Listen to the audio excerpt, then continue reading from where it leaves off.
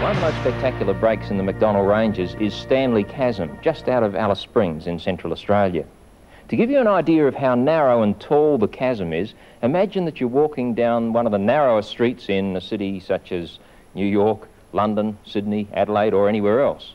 Imagine you have 30-storey buildings on each side of the street, and then suddenly you shrink the width of that street to about a quarter of what it was before. Then you have an idea of what it feels like to walk down Standley Chasm. Millions of years ago, the whole of Central Australia was covered by ocean. Sediments fell down to the ocean floor, layers built up, and eventually turned to rock.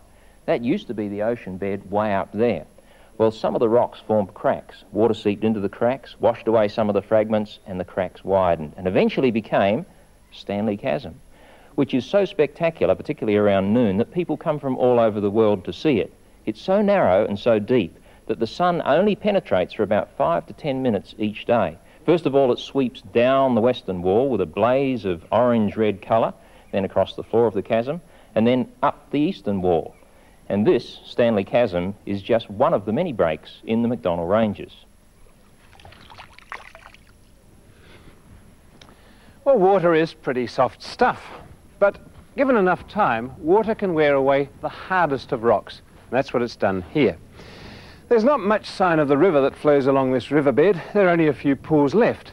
But it's chewed away for millions of years in the torrents that occur at flood time, and it's cut this lovely place, Simpson's Gap, not far from Standley Chasm.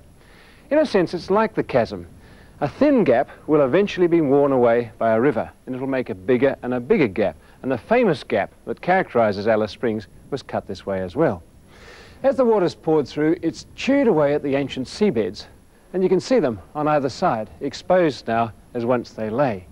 Layer upon layer of it, now slumped slightly to one side because of the movements of the Earth's crust.